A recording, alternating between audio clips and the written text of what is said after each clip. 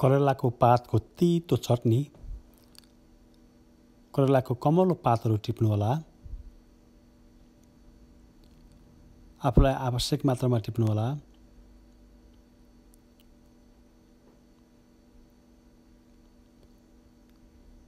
राम्रोसँग पखाल्नुहोला।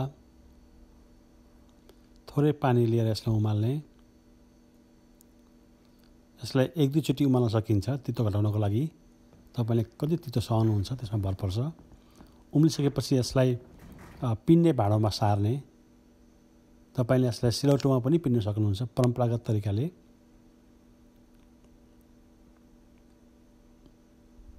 मैले यसलाई सिधै पिन्ने भाँडामा सारेको छु।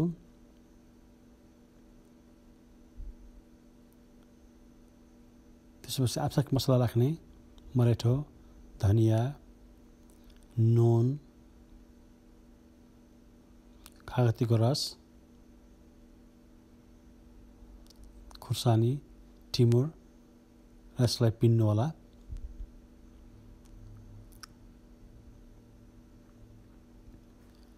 मजाले पिनिसकेपछि यो हरियो तितो चटनी तयार भयो। ख्याल गर्नुहोला यो चटनी करेलाभन्दा पनि तितो हुन्छ।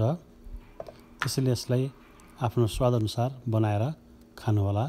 भिडियो हेरिदिनु भयो धन्यवाद।